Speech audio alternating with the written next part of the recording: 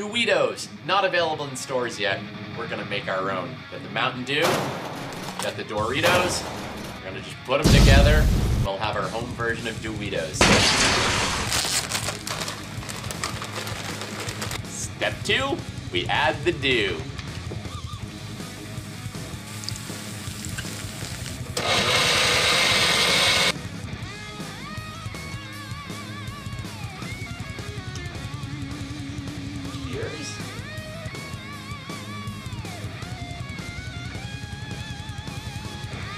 Oh.